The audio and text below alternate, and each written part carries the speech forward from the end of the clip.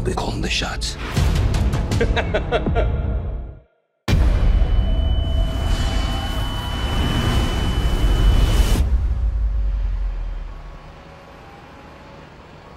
Look at this. What that madman did.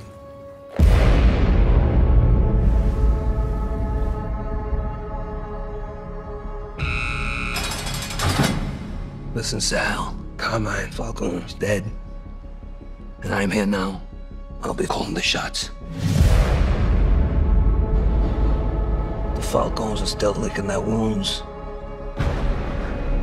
They're distracted. The business will be ripe for the taking.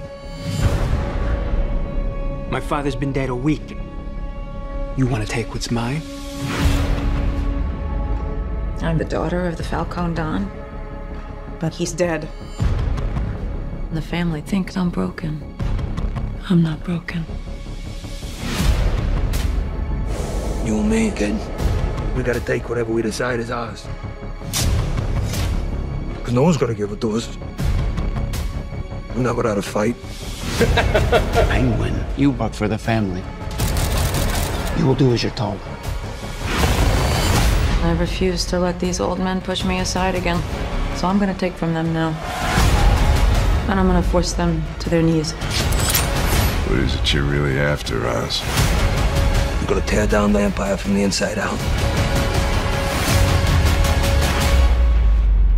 You know, Oz, people underestimate you, but not me. I've always known you were capable of more.